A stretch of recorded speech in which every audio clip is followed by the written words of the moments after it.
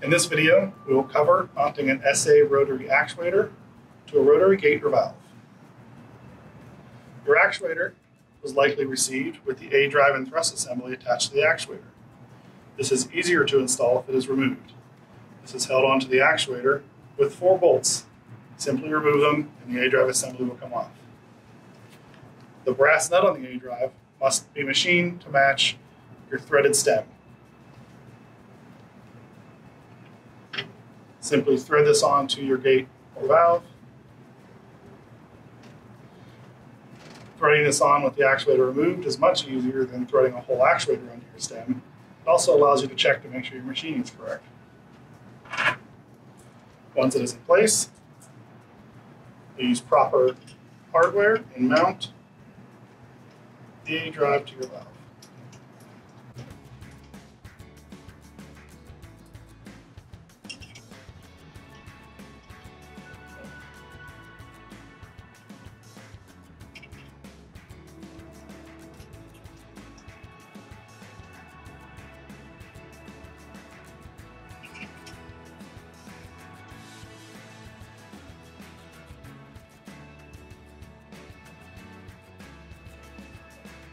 But I'll tighten these bolts to the proper torque and a cross pattern style.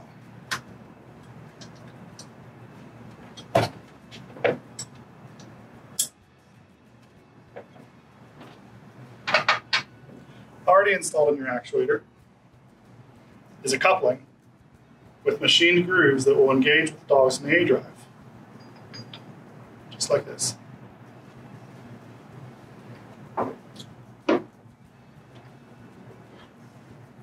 Take your actuator and align the grooves in the coupling with the dogs in the A drive.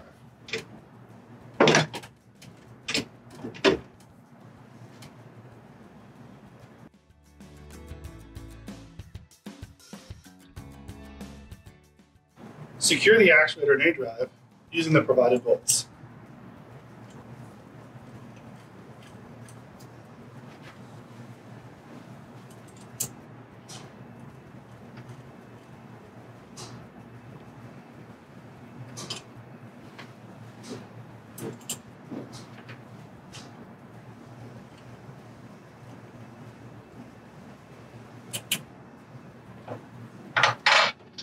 Tighten the bolts to the specified torque in the same cross patterning.